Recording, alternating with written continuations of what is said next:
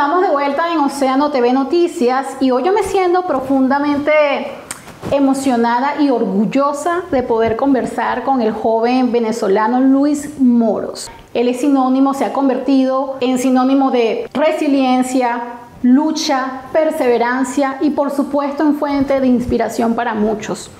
Porque pasó de estar en condición de desamparado, de homeless, al Capitolio de los Estados Unidos. Actualmente se encuentra estudiando dos carreras universitarias, una en ciencias políticas y una en administración pública, en una de las universidades más prestigiosas de los Estados Unidos. Me refiero a la Universidad de Stanford. Yo pudiera decir muchas cosas más de ti, Luis, pero para eso estás acá. Bienvenido a Océano TV Noticias. Gracias, gracias. Eh, qué bella presentación. Cada vez que escucho eso se, se me eriza la piel y yo encantado de estar aquí en Océano TV. Luis, Quiero que comencemos porque para quienes no te conocen, a pesar de que ya tienes, wow, una popularidad que ha crecido en tiempo récord, toda historia exitosa tiene un inicio. ¿Cómo fue el tuyo? ¿Cómo llegaste a los Estados Unidos? Descríbeme cómo fue ese proceso. Bueno, llegué a los Estados Unidos porque para nadie es un secreto eh, las cosas que están sucediendo en mi país, Venezuela. Eh, pues yo fui una de las personas que presionó a mi madre eh, yo hablo de persuasión, entonces yo persuadí a mi mamá para que se viniese a los Estados Unidos porque desde los 10 años sabía que quería ser abogado o estudiar la política y pues sabía que ese no era el futuro. Eh, incluso uno de mis mayores sueños es volver y, practicar todo lo que he aprendido allá.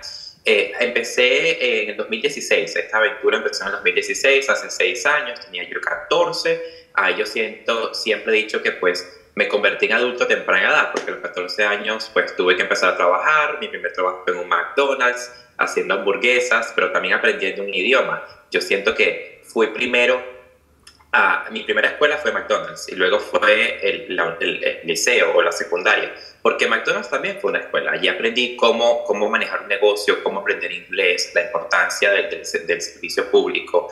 Eh, todo allí lo aprendí y pues poquito a poco empecé a avanzar.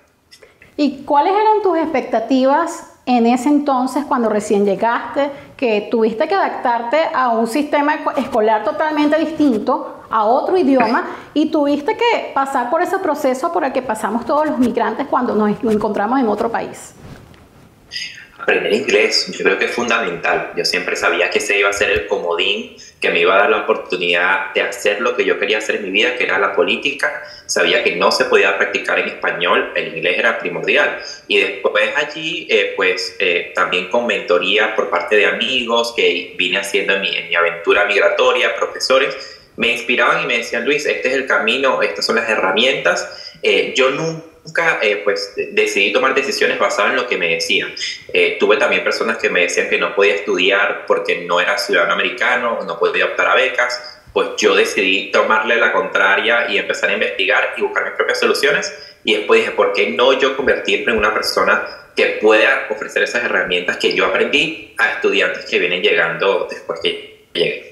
Claro, porque tenías mucho en contra. Aparte de la barrera del idioma, tengo entendido que estuviste mudándote en situación de calle sin un hogar fijo. ¿Cómo fue ese proceso y cómo pudiste hacerte de esa situación negativa? ¿Cómo pudiste manejarla como algo positivo para luego proyectarte a lo que, a lo que hoy en día eres y haces? Sí, bueno, porque mi mamá desde que me, desde mi crianza, en mis inicios, siempre me decía que todo era circunstancial, ¿no? que nada dura para siempre. Eh, eh, a veces se puede interpretar como una frase pesimista, pero en mi opinión y en mi, en mi, en mi lente, en mi realidad, era pues yo decir que ser homeless o no tener vivienda no era no iba a durar toda la vida. Y quién iba a tener esa decisión yo mismo. Yo mismo tenía la capacidad de cambiar esa realidad. Y cómo lo iba a hacer trabajando eh, mi mamá, pues también fue, es sinónimo de lucha. Eh, yo creo que no hay historia, no hay Luis Moro sin mi mamá, eh, y, no hubiese yo podido pues, sobrepasar esos obstáculos sin su fuerza emocional para yo salir adelante.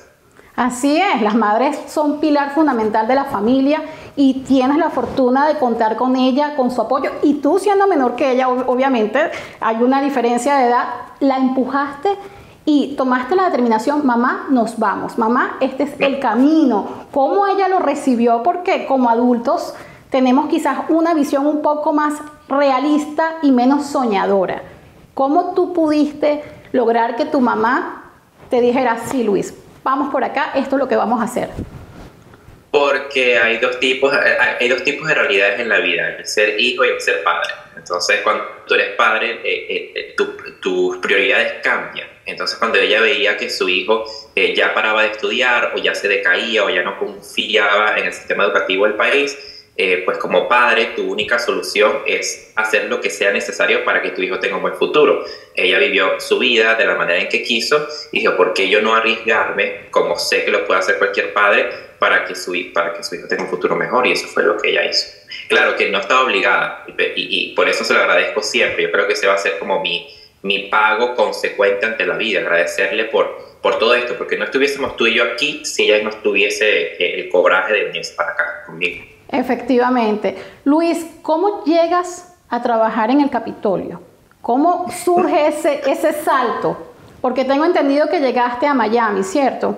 Sí, sí. ¿Cómo, ¿Cómo surge ese salto de Miami a Washington? Una llamada que me cambió la vida. Yo estaba trabajando en, la en, la Universidad Internacional de la Florida, conocida en Miami como FIU. Eh, allí era asistente para un departamento en la universidad y me llegó una llamada del director de Washington, D.C., de la universidad en la sede de Washington, D.C., ofreciéndome este cargo que era simplemente ir como estudiante, era hacer la cara de la universidad como estudiante. Eh, y aprender cómo hacer incidencia política en los Estados Unidos. Nada más y nada menos que en la cuna de la política que es Washington. Eh, me ofrecieron esa oportunidad, yo, estar, yo lo que hacía era contestar llamadas eh, y, ser asistente de, un, de un, escritorio. Eh, y bueno, ahí tuve la oportunidad de tomar una decisión en 48 horas, porque eso fue lo que me dieron para poder decir si quedarme en mi zona de confort, que era atender llamadas, estudiar y volver a casa, o pues tomar la, la, la decisión de mi vida que era mudarme a Washington. Los grandes cambios siempre nos traen miedo, pero salir de la zona de confort, en tu caso como en muchos otros, rindió grandes frutos. Hoy por hoy, ¿qué haces en cuanto a, a tu trabajo en el Capitolio? Lo que hago es trabajar con congresistas para impulsar proyectos de ley en dos temas que para mí son claves, la inmigración y la educación.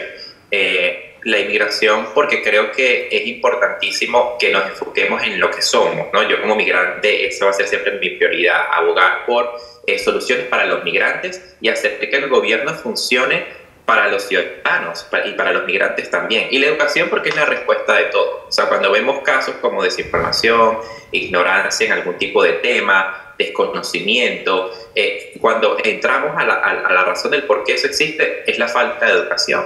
Entonces, cuando hacemos que el gobierno eh, pues le provea los recursos a los estudiantes para que se eduquen, es allí donde vemos una sociedad con más intelectual y con más oportunidades en el futuro. Luis, ya tú eres analista político. En un mundo tan polarizado, tanto en la política como en muchos otros temas, ¿cómo haces para buscar ese punto medio para dar tus análisis desde la objetividad? Bueno, no, no caer en el fanatismo, eh, no van a gloriar a los políticos, no verlos como dioses, sino como seres humanos y que todos cometemos errores, eh, y también verlo bajo un punto de vista humano. La política, si no lo hace desde un punto de vista humano, no sirve de nada. O sea, si lo empiezas a ver como objetividad, no hace sentido. Y es por eso que está el politólogo de teoría, que sabe las ideologías y los dogmas y todo eso, y tienes al analista político o al, o al servidor público que lo practica de calle eh, yo creo que mejor análisis político es sentir las necesidades de la gente, del ciudadano de calle y plasmarlo en los medios de comunicación. Y eso es lo que hago, también entendiendo que eh, todos vemos la realidad desde nuestros lentes. Yo lo hago un punto de vista bipartidista, donde eh, trato de agarrar las mejores ideas de ambos partidos, dar mi análisis y mi criterio, al final es mi criterio, y no aliarme a ningún partido. O sea, nunca, nunca vas a ver en, en, en los diferentes medios de comunicación a los que hago mi análisis que soy analista demócrata o republicano, simplemente soy analista bipartidista y digo mi opinión. Eh, bajo mis lentes y hay gente que le gusta, hay gente que no, pero ahí está la democracia. Como todo, y es parte del ejercicio democrático, la diversidad. Luis, tú has saboreado las mieles del éxito. ¿Qué es para ti el éxito? Yo sé que es un término bastante personal, pero para ti, ¿qué es el éxito y cómo lo has manejado en, en este tiempo que te ha tocado saborearlo de esta manera, todos te quieren entrevistar, estás en todos lados, has tenido una popularidad. Es una enfermedad crónica el éxito, eh, porque la vida te cambia de un día para otro. Yo, yo eh, pues, no, no era conocido hace cuatro meses, entonces, o menos, seis, cuatro, tres meses, y, la vida te cambia, ¿no? Pero eh, lo que le comentaba, porque te cuento, esto, estoy aquí y estoy en, el salón de belleza donde me estaba haciendo las uñas y, me puedo hacer un tratamiento facial, porque mi vida es así, loca eh, intensa. Pero lo que le estaba diciendo a la muchacha que tengo aquí es, es eso, de que en realidad el éxito eh, va alineado a tu disciplina y a tu consistencia. Eh, y eso fue lo que yo hice. Yo trabajo hasta 18 horas al día, pero nunca con la visión de ser famoso. Y, llegó. Y cuando tú menos piensas que quieres ser famoso, te llega.